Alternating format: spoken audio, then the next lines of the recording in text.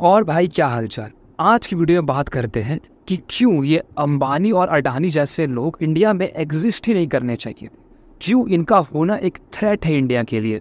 देखो सीधा सीधा बात यहाँ पर आता है इनकम डिस्ट्रीब्यूशन का। या फिर अगर इसे अलग शब्द में बोला है तो वेल्थ डिस्ट्रीब्यूशन का। इंडिया का वेल्थ डिस्ट्रीब्यूशन बहुत खराब है। मान लो कि इस देश में सौ लोग हैं और हर एक इंसान के पास एक एक रुपए जाने चाहिए। मतलब कि इस देश के पास सौ रुपए है। उसमें एक इंसान आता है जो इस देश से चालीस रुपया लेके चले जाता है। तो बाकी निन्यानवे लोगों को साठ रुपये में काम चलाना पड़ेगा ना? तुम भी बताओ इससे क्या होगा?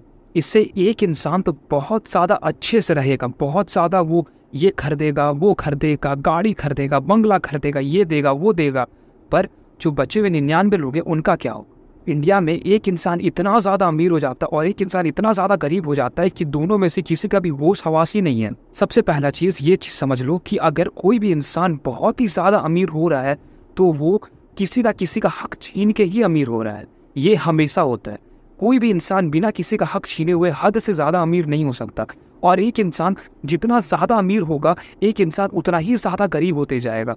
एक देश में अगर जितना ही ज़्यादा अमीर इंसान रहेगा, उतना ही ज़्यादा गरीब भी होगा। ये एक ट्रुथ है, जो हर जगह पर अप्लाई होता है। ये कॉन्सेप्ट हर किसी को समझ में आना चाहिए, तभी उन लोगों को समझ में आएगा कि वेल्थ डिस्ट्रीब्यूशन ज़रूरी क्यों है। और एक और चीज़ समझो कि अगर तुम लोग वेल्थ डिस्ट्रीब्यूशन को लेके इतने ज़्यादा कॉन्सर्ट नहीं हो कि अरे यार जाने दो, ले लिया तो ले लिया, हम लोग भी बिज़नेस खोल के ले लेंगे। तो पहले एक बात समझ लो। वेल्थ डिस्ट्रीब्यूशन इतना ज़रूरी इसीलिए है इक्वल होना। इक्वल तो देखो हंड्रेड परसेंट तो बिल्कुल नहीं हो सकता। ये तो मैं भी नहीं मानता कि हंड्रेड परसेंट हो सकता पर सबसे ज़रूरी चीज़ तो ये है कि हम लोग को ये जो गैप है रिच एंड पुअर के बीच का, ये गैप जितना हो सके उतना कम करना चाहिए। ताकि हम लोग एक अच्छे लाइफस्टाइल को हासिल कर सके और जी सके। सिंपल सा एक कॉन्सेप्ट इकोनॉमिक्स में, अगर एक इंसान बहुत ही ज़्यादा अमीर है और एक इंसान बहुत ही ज़्यादा गरीब है एक देश के अंदर में तो जो अमीर इंसान है वो फिजूल खर्ची ज़्यादा करेगा तो वो फालतू की चीज़ों में पैसा ज़्यादा इन्वेस्ट करेगा। एक लग्जरी गाड़ी खरीद लेगा, एक ये खरीद लेगा, वो खरीद लेगा पब में जाएगा बार में जाएगा नेसेसिटीज़ पे ध्यान नहीं देगा। ज़रूरी चीज़ों पर ध्यान नहीं देगा।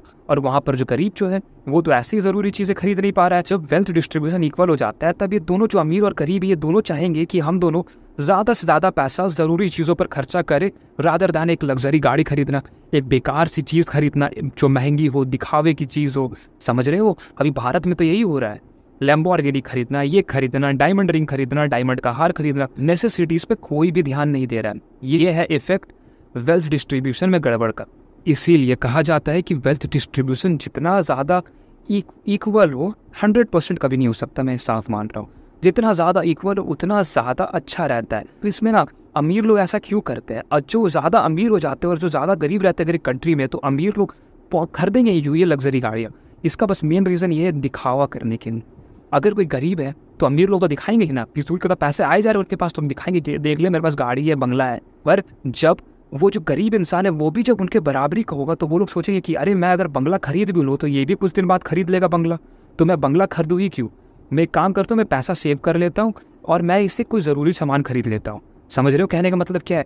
यही चीज़ है जो इंडिया में भी होना चाहिए, जो भारत में भी बहुत ही ज़्यादा ज़रूरी है करना, ताकि ये वेल्थ डिस्ट्रीब्यूशन जैसे ही कम हो जाएगा या फिर जैसे ही ऑलमोस्ट बराबरी पर आ जाएगा या फिर अगर कम हो गया तो इंडिया में रहने का कंडीशन और जो यहाँ पर ओवरऑल जो कंडीशन है, इंडिया को बहुत जल्दी इंप्रूव हो जाएगा।